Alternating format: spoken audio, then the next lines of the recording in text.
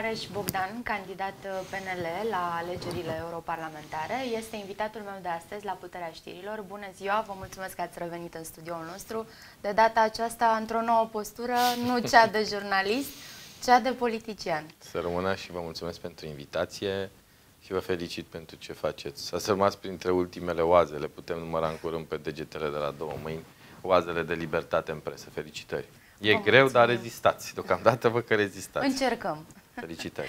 Cum este această nouă postură de, la, de politician, de Grea. liberal? Ehm, pe de o parte foarte frumoasă din punct de vedere al întâlnirii cu publicul. Proiectul că eu mă întâlnesc foarte cu publicul. Șapte ani de zile am realizat emisiuni, iar acum sunt în stradă și mă întâlnesc cu oameni care îmi spun că li s-a schimbat viața, că și-au schimbat bioritmul, că nu mai știu ce să facă la ora 21, că nu mai știu ce să facă la ora 1 noaptea, că stau până la 1, că erau obișnuiți cu mine, cu emisiunile mele. N-am crezut că am influențat atât de mult și că a contat atât de mult emisiunea. Asta este o recunoaștere a muncii. Pe de altă parte, este extrem de greu. N-am muncit în viața mea cât am muncit în două săptămâni.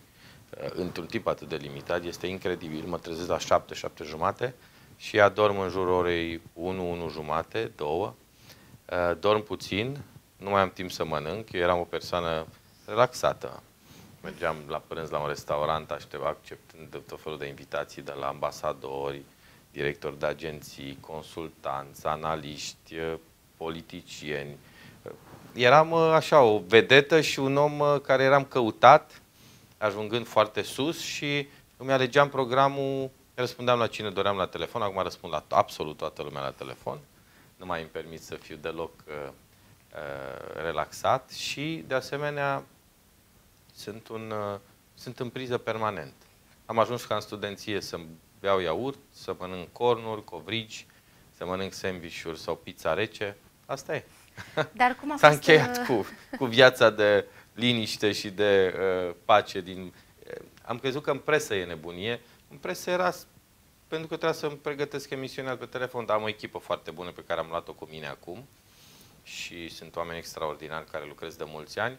Și Din cei cu care lucrați la toți, realitate. Toți i-am cu mine. Toți cei cu care am lucrat în mod direct au venit cu mine. Cum a Pentru fost trecerea asta de la jurnalism la politică? Grea. Grea pentru că meseria de jurnalism mi-a oferit tot.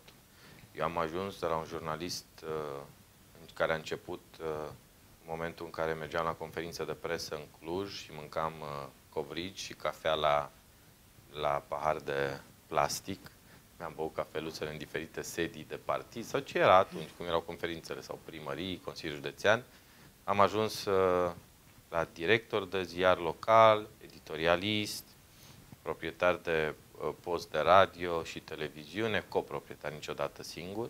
Și apoi am venit la București, unde mi s-a dat o șansă, iar aici am urcat toate treptele. Am ajuns în primii jurnaliști ca notorietate, ca încredere.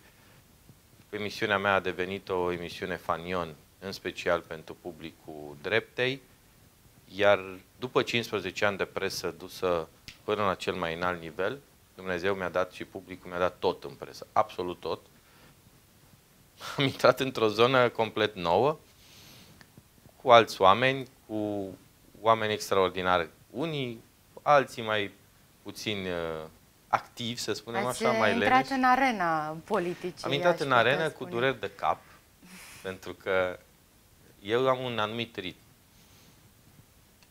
Sper să țină toată lumea pasul cu mine, am o putere de muncă uriașă și ritmul meu de viață este unul foarte, foarte alert. Mi s-a părut uh, uneori că mă întorc în timp, pe vremea când eu făceam politică în anii 95, adică era așa un dolce farniente pentru unii, unii sunt foarte prinși. Eu sper ca toți să înțeleagă că nu poți să faci politică decât fiind zi de zi atent la ce se întâmplă în societate și la nevoile oamenilor și fiind între oameni. Nu poți politică să faci fără oameni, decât cu oameni. Uh, și să se activeze. Încă mai sunt zone unde nu s-au activat suficient, dar sunt convins că au înțeles că putem câștiga alegerile, că putem scoate un scor istoric și că dacă vor să participe la această victorie, trebuie să intre în uh, arenă cât de curând. O parte se pare că au înțeles, o parte încă se codesc așa și stau încă în expectativă. Dar sunt convins că în câteva zile vor intra cu toții. în tranșee. Dar uh, cum au primit uh, oamenii, fanii, uh, jocuri de putere, uh, vestea aceasta că, iată, nu vă vor mai vedea seară de seară cum erau obișnuiți la jocuri de putere? Aș vrea să... Bine, au înregistrat cei de la PNL, au după mine o cameră tot timpul și aparate de fotografiat, dar uh, n-am văzut. Dacă cineva la sfârșitul campaniei ar putea extrage, sau acum, din primele două săptămâni de întâlniri cu oamenii, în București, în Vâlcea, în, um, la Sibiu, la Sinaia, câți oameni, la Milano, Padova, Trieste, câți oameni dintre cei cu care m-am întâlnit, deja mii și mii de oameni, mi-au spus, dar noi ce facem seara? Dar noi la ce ne uităm? Dar noi, de ce ați plecat? Mulți vin și îmi spun, dar de ce ați plecat, domnul Rareș? Noi ne trăiam cu dumneavoastră prin emisiunea, noi de acolo ne informam. Acum la ce ne uităm? Eu le spun sigur să se uite în continuare uh, la televizor, pentru că sunt oameni extrem de buni care îi informează corect și la realitatea și la uh, B1 și la toate televiziunile din uh, România. Sunt jurnaliști foarte buni.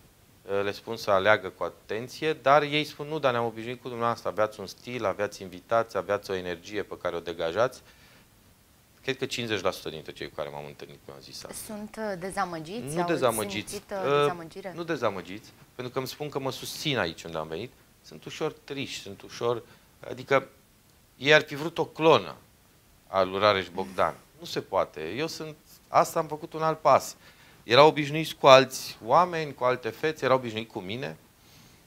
O să prindă încredere. O să prindă încredere în colegii mei și de la Realitatea și de la alte televiziuni Sigur, dacă alte televiziuni știu să exploateze momentul, pot să fure public masiv de la realitatea. Dacă realitatea știe să își țină publicul aproape și publicul meu și publicul clasic, realitatea nu va fi nicio problemă și sper să o facă, pentru că am, am ceva special pentru Realitatea TV. Cred că au făcut o alegere bună la ora 21 cu Denis. Acum rămâne să reușească să facă ceea ce am făcut uh, eu și să dovedească chiar că sunt mult mai buni decât mine. Pentru că niciun om nu, nu este de neînlocuit, absolut niciun om, și sunt absolut convins că în uh, meseria mea sunt oameni mult, mult mai talentați decât mine.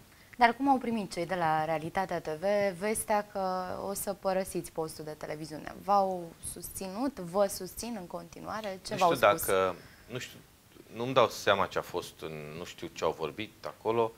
Știu că am primit 200-300 de mesaje de la mașiniști, de la cameraman, de la oameni din spatele uh, ecranului, la vedete din care se văd pe ecran, în special colege, colege de ale mele extraordinare, din toate zile sau reporteri, uh, oameni aflați, aflați în conducerea editorială, ei resimt asta sigur ca o pierdere, pentru că se obișnuiseră cu mine, știau că sunt o ancoră de uh, audiență, de influență, de forță, că am o voce puternică și că în momente cheie apăr postul, dar eu le-am spus, faptul că am plecat nu înseamnă că dacă din nou sunt presiuni pe voi venite de la CNA, de la ANAF, de la instituții ale statului, de la uh, antifraudă, de la uh, partide politice, nu vă puteți baza pe mine. Din contră, vocea mea va fi o apărătoare și în Parlamentul European și în spațiu public a libertății de exprimare și sigur că sufletul meu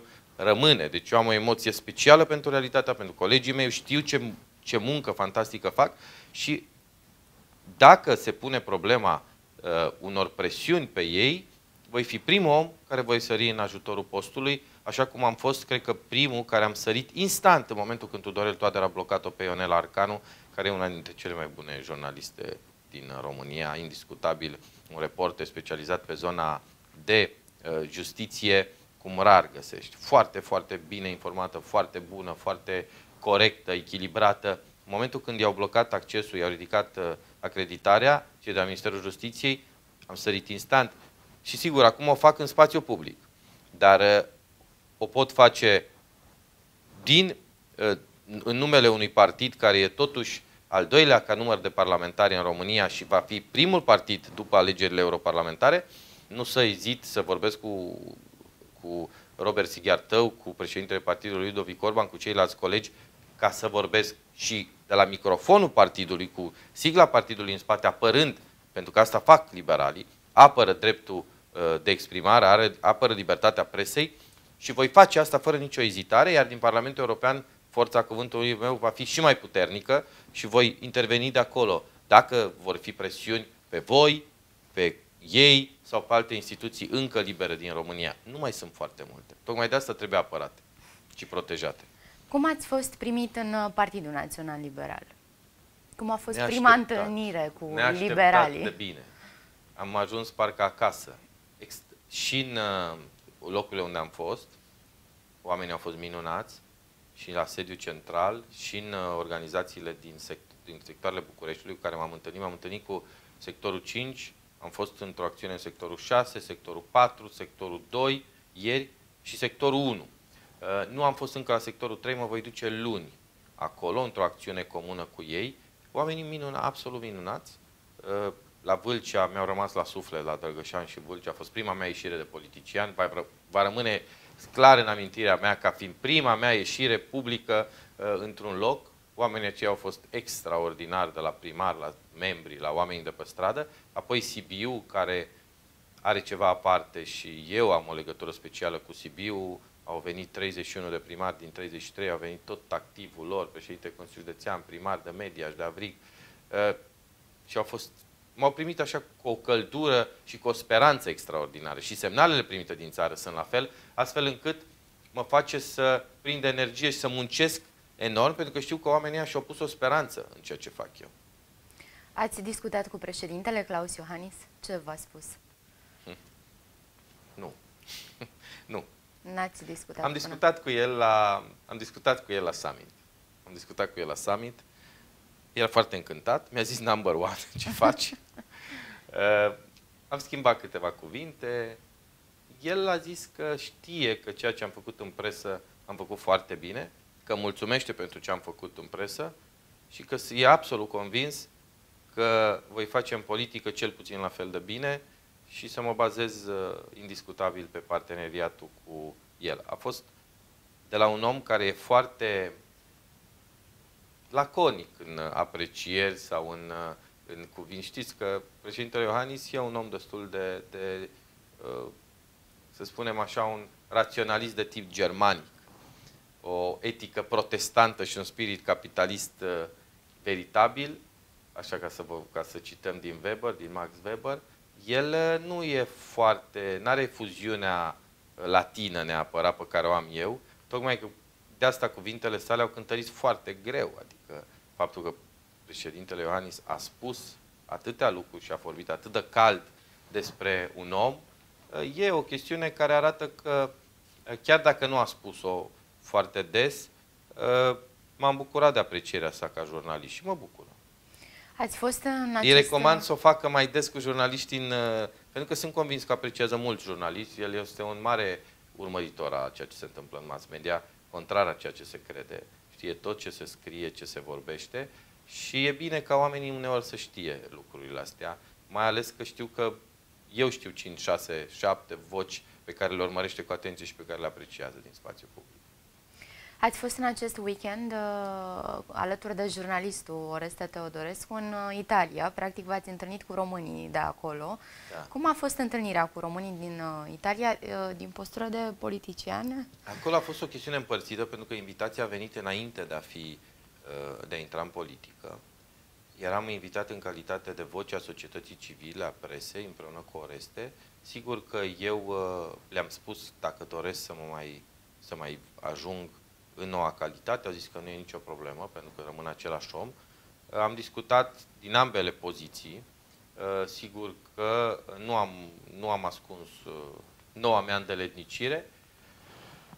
Românii din, din Italia și în general din diaspora au o, o căldură pe care cu greu mai găsești. Pentru că oamenii ăia, când văd unul la mână, poartă tricolorul într-un mod cum nu cred că îl mai face cineva, Doi, ehm, sunt atât de mândri de țara lor, chiar dacă sunt departe, plâng, le plânge sufletul după tradiții, după obiceiuri, după părinți, după frați, după copii unii dintre ei, după mâncare românească. Pentru ei mirosul ăla de România cu care te trezești dimineața e unic și nu e înlocuit de mirosul de portocale din uh, nordul Italiei sau din sus sau din Grecia, că tocmai se pregătesc să înflorească portocalii și e un miros foarte, în Grecia sau în Italia, e specific sau în Spania. Cu toate astea nu, nu sunt foarte uh, impresionați de asta. Vor Pre... să se întoarcă acasă? 99%. 99% ne-au spus. Faceți ceva, dați-i jos pe ăștia, ne fac de rușine, nu ne blocați aici unde suntem, pentru că le e frică de noua direcție pe care o ia PSD al despre Eurasia și ruperea relațiilor cu țările UE. Uh, uh, faceți ceva, vrem să venim, venim acasă. Sunt și șocat, pentru că unii dintre ei au copilași care s-au născut acolo și au ajuns să meargă la școală acolo. Au case cumpărate, au apartamente, au mici business-uri. Doar în zona Piemontului sunt în jur de 14.000 de firme, în Lombardia vreo 8.000 cu capital românesc sau uh, română-italian. Vă dați seama că vorbim de sute de mii de români. Sute și sute de mii de români. Uh, am rămas șocat. Și aici, și la Londra, și la Paris, și la Roma, la fel și în, în Madrid. Oamenii spun, vrem acasă. Deci nici unul nu a spus renunțăm la România. Asta este un specific al românilor pe care nu l-au alte popoare, nu l-au nici polonezii, nu l-au nici italienii, care se, care se adaptează urgent la viața din America, de exemplu, și sigur, trăiesc în mica lor Italia, în Little Italy din uh, New York sau în alte părți, dar nu au legătura cu țara, dar nu țin neapărat să trăiască acolo, decât să o viziteze. La noi lucrurile sunt complet diferite. Românii din Italia, pe care eu am întâlnit și am stat trei zile cu ei, oricând, dacă mâine, îmi spuneau care ce, sunt uite, cele mai mari nemulțumiri Ce uite, lor? eu lucrez aici, dar dacă cineva, dacă îmi spune că pot să mă întorc acasă la Craiova, îmi spunea un domn, patru copii are, și e uh, șef de restaurant și muzicant. Zice, mă întorc mâine la Craiova. Domnul are și atât de dormie de casă, îi dădeau lacrimile. Toți îmi spun asta. Eu sunt, uh, n-am înțeles, nici la Biserica Românească din Paris, unde m-au înconjurat românii, uh, la fel. N-am, uneori chiar mi-e greu să înțeleg, pentru că am stat și eu mai puțin timp, n-am stat atât de mult ca ei. Și sigur că resimți un dor aparte. Dar ei sunt pur și simplu legați umbilical. Nu vor să renunțe. Toate, toți banii lor îi trimit în țară, își cumpără aici apartamente, mici case, uh, bucăți de teren pe care își construiesc o casă. Nu pot să se gândească că bătrânețile sau maturitatea și-o petrec acolo. Găsesc momentul, vor să se schimbe lucrurile în România, vor să se schimbe lucrurile. Îi deranjează incompetența, uh, hoția, uh, infracționalitatea, sfidarea care acum domină clasa politică conducătoare de la PSD-ALDE, îi deranjează enorm preocuparea pentru infractori și pușcăriași mai mult decât pentru bătrâni și copii părăsiți. Uh, sunt deranjați de modalitatea în care sunt tratați de Ministerul Afaceri Externe, acum din nou probleme cu deschiderea secțiilor de vot, din nou aceleași probleme cu schimbarea buletinelor sau cu certificatele de căsătorie sau de divorț, din nou o problemă cu uh, actele copiilor, îi, îi scoate din minți chestiunea, pentru că nu e rezolvată și nu înțeleg de ce rămânem în continuare. Îi, îi doare rău o chestiune cu tremurătoare. Mi-au dat lacrime cum mi-au povestit. Eu, domnul Bogdan, știți că ne costă 5.000 de euro să ne aducem morții acasă și că sunt în frigiderele din morgine din Italia câteva zeci de persoane decedate care așteaptă un moment, unii sunt de o lună, două, ca să ajungă acasă, să fie puși în pământul străbun, lângă rudele lor, lângă părinții sau bunicii lor, și familiile nu au bani? Ce țară e asta care nu e în stare să-și aducă măcar morții acasă? Suntem singuri. Până și uh, bulgarii sau albanezii fac asta. România nu face un gest. Au ajuns, mi-a povestit, sigur, sub protecția anonimatului, că au fost cazuri anul trecut și acum doi ani, când și-au adus morții, deci persoane degedate, au venit bărbații cu ei în mașină și la granițe le-au spus că dorm, ca să-i poată băga în țară să-i mormânteze. Astea sunt lucruri care arată degradarea unui, unei clase politice, degradarea celor de la putere, care clamează atenția pentru cei sărmani și pentru cei mulți și în realitate nu fac decât averi. Deci nu cred că un episod, nu l-am povestit nicăieri până acum, uh, ăsta a fost lucru care m-a șocat. Deci Oreste i-au dat lacrimile, eu am rămas cu, cu ochii mari, nu mi-a venit să cred. În momentul în care îmi zice, știți, zice, poate cea mai grav lucru este că statul ne abandonează și nu ne sprijină să ne aducem morți acasă. Domne, e ceva... Mm. Deci asta arată cum s-a degradat România în 30 de ani. Nu s-ar fi întâmplat asta în alte, în alte, în alți ani. Deci arată cât de departe de oameni sunt cei care conduc Ministerul de Externe, Guvernul României, Parlamentul României, cât de ușor este să dai o ordonanță, cât de ușor este să, să, dai o, să dai o ordonanță de urgență care să rezolve această problemă. Nu e. E inadmisibil așa ceva. Pentru că 5.000 de euro pentru oamenii aceia care muncesc pe 800, 850, 1000 de euro, nu lucrează pe bani foarte mulți, sunt bani enormi. Sunt bani care le, îi adună într-un an sau în doi ani de zile. Și nu iau. Și atunci știi morți în frigiderele din Italia, din morgi. E, da, dreptul înfiorător. Asta e România ce... de afară. Asta e România unor oameni care au fost alungați. Deci pur și simplu au fost alungați din România. Și cu toate astea nu urăsc România, ci vor să se întoarcă în ea. Să o schimbe. Este fantastic. Și vor să voteze cu toții. Chiar dacă italienii, spre exemplu, Salvini și-a schimbat mesajul. A înțeles că problema italienilor nu e cu cei 2 milioane de români, pentru că noi suntem cam 1.700.000 și vreo 300 de mii frați basarabeni. Nu cu noi e marea problemă a lor. A lui. E cu imigrația din Orientul Mijlociu și din Nordul Africii. Și atunci Salvini a deschis, ministrul de interne italian, a deschis posibilitățile ca românii să poată să primească cetățenie. Dar cum fac italienii? Zic, domnule, nu contează că n-ai 5 ani aici. Vă dăm cetățenie, renunțați la cetățenia română. Și deja sunt sute sunt, de oameni care, care au început să renunțe. Renunțat. Unii vorbesc de mii. Pe știm de sute de cazuri. Asta e o situație extrem de gravă. Pentru că dacă o fac și spaniolii, dacă o fac și francezii, dacă o fac și grecii și nemții, avem o mare, mare problemă. Dar ajunge că o fac italieni. Deci renunț la cetățenie. Plus, îi invită ca cetățeni europeni cu rezidență să voteze pentru alegerile lor europarlamentare. Și unii dintre ei sunt membri la Forța Italia, sunt simpatizanți Lega Nord, sunt la Movimento 5 Stele, sunt la Partidul Democrat uh, al lui Renzi. Deci ei au simpatii politice și acolo. Foarte mulți la Forța Italia, de exemplu, sau la Lega, care eu credeam că e, o, e percepută de aici ca o forță de extremă, o forță radicală. Erau unii care candidau, ei au alegeri locale la, odată cu europarlamentarele, regionale și locale. Și mulți sunt angrenați în campanii, lucrează în campaniile electorale, candidează în campaniile electorale pentru diverse poziții de consilieri sau chiar de primari. Și lucrul ăsta, sau consilieri regionali, și lucrul ăsta îi face să fie extrem de preocupați de zona aceea. Italienii vor avea secții de vot, deci practic ei trebuie să voteze în secțiile italiene dacă sunt interesați, iar dacă au votat pentru europarlamentari, nu mai pot vota și pentru europarlamentarul din România. Și unii dintre ei vor fi chemați într-acolo.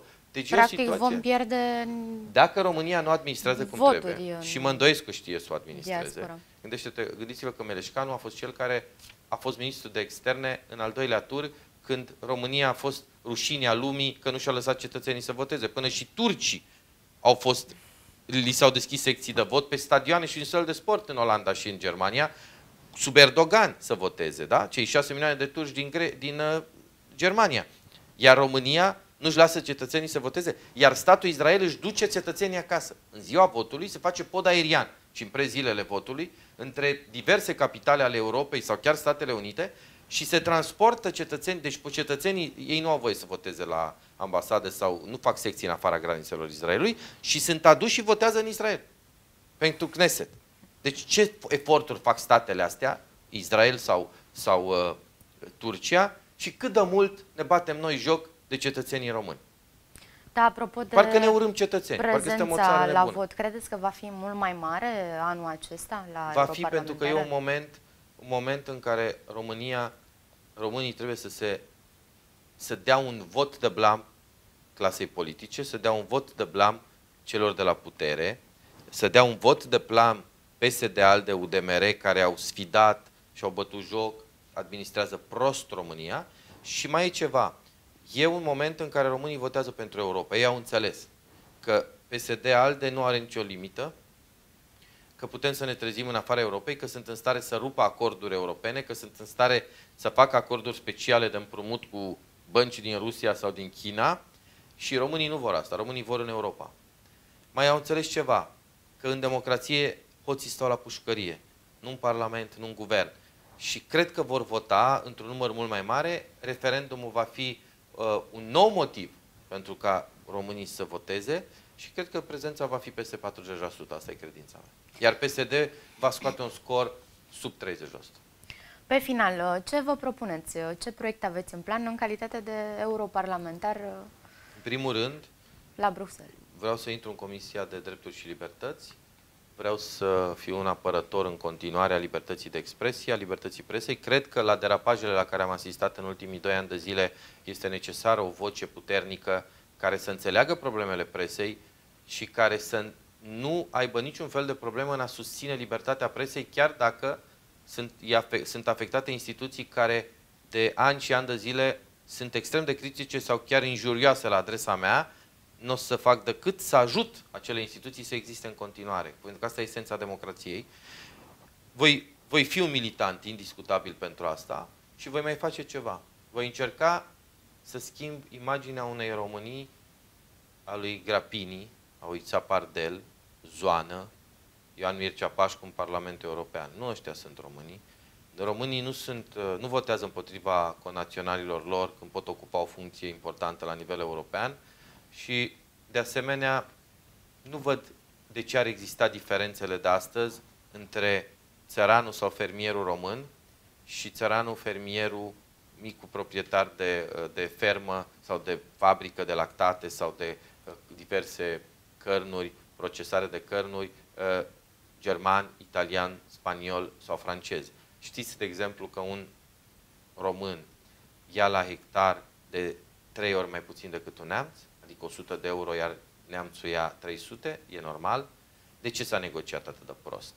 Culmea e că unii dintre cei care negociază, au negociat asta și au fost de acord cu aceste cote, ă, astăzi fac pe mari, marile voci ale democrației. Nu e corect. Nu e corect. Românul nu e cetățean de rang 2, românul nu este cu deloc diferit de neamț sau de francez și trebuie să aibă exact același statut ca ceilalți. Dar să știți că statutul nu l-a negociat un om, l-au negociat unii care nu au știut să se bată pentru țara lor. Nu au știut, pur și simplu, nu e interesat.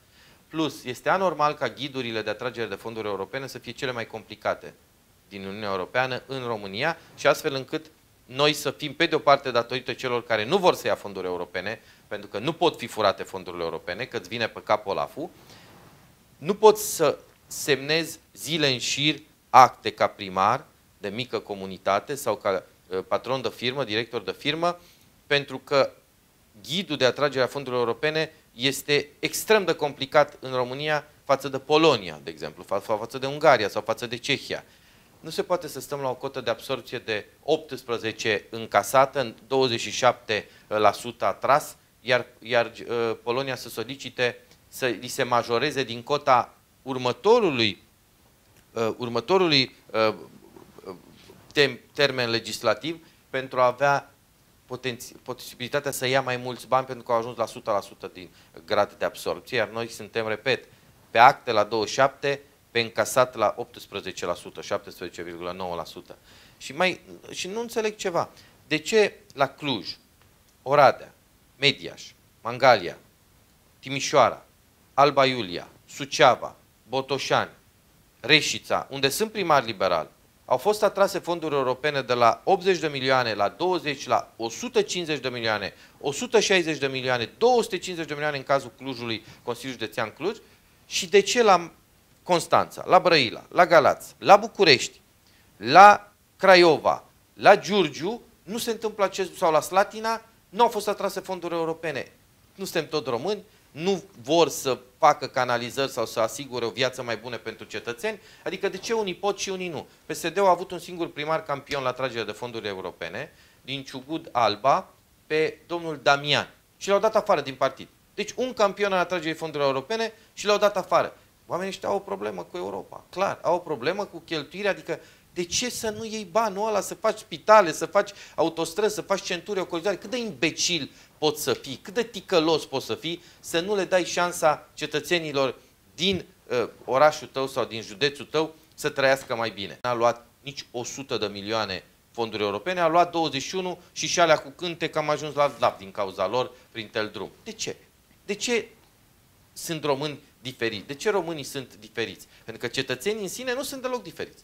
Cei din Suceava, Cluj, Mangalia, Reșița, vedeți că sunt din toate zonele, nu sunt diferiți de cei din Alexandria sau din Slatina sau din Craiova. Dar de ce să fie văduviți? Doar pentru că sunt administrații incompetente?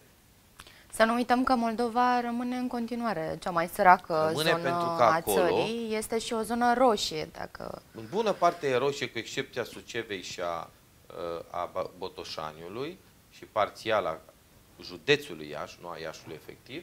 Și n-am să înțeleg de ce oamenii aceia nu-i trag de mânecă pe edili să le spună, oameni buni, de ce la Cluj indicele de viață a ajuns ca la Graz sau ca la Salzburg sau ca la Linz?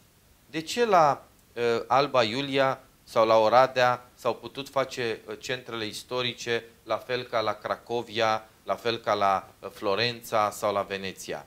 Ce au oamenii în plus? Că sunt tot români. De ce în Reșița, de exemplu, e un program de investiții pe fonduri europene de 140 de milioane? Și de ce la Slatina, la doi pași, sau la Severin, ă, oamenii stau în niște condiții și ă, trăiesc ca la începutul anilor 90, din, vorbesc de spațiile publice acum, nu vorbesc de viața fiecăruia individual, deci ce a făcut fiecare individual, vorbesc de spațiu public, spațiu comun. Lucrurile astea sunt dureroase și arată dezinteresul, incompetența sau dorința unora să-și țină cetățenii în sărăcie pentru a-i putea controla politic, ceea ce ar fi cel mai tragic. Domnule Rareș Bogdan, eu vă mulțumesc pentru și prezența eu. alături de noi. Vă dorim mult succes. Uh, urmează o perioadă destul de două grea. Luni, două, două luni, luni pe front. Suntem două luni pe front. Eu vreau un singur lucru. Să fie convinși toți simpatizanții liberali, activiștii liberali, militanții liberali, membri de partid, toți cei 13.000 de consilieri, cei 1.100 de primari, cei 100 de parlamentari și fanii jocuri de putere, că putem fi un partid, o forță politică, care la sfârșitul zilei de 26 mai să fim prima forță politică din România. Iar de acolo eu le promit că vor fi patru rânduri de alegeri de succes. E important cum se vor mobiliza și cum vor explica românilor în ce situație a adus PSD România. Și să-i aducă pe român la vot, Eu sper să-i aducă pe român la vot, pentru că românii trebuie să înțeleagă că dacă nu se implică și dacă nu acordă votul lor uh, unui partid politic, și eu sper să fie un partid politic din dreapta, cu precădere Partidul Național Liberal, cred că uh, nu mai au dreptul să spună absolut nimic despre ce fac politicienii sau nu fac pentru viața lor. Deci dacă nu te prezinți la vot, un exercițiu normal, primul exercițiu democratic real, atunci părerea mea că nu au de ce să comenteze nici la birturi, nici la cafenele, nici în pat cu soția. Pentru ei nu mai există comentariul la adresa politicului dacă nu participă la vot. Înseamnă că nu sunt interesați de drumul țărilor, înseamnă că e comunist sau bolșevist, neobolșemist, neomarxist, liberalist, capitalist, democrație sau autocrație, nu e nicio diferență pentru ei.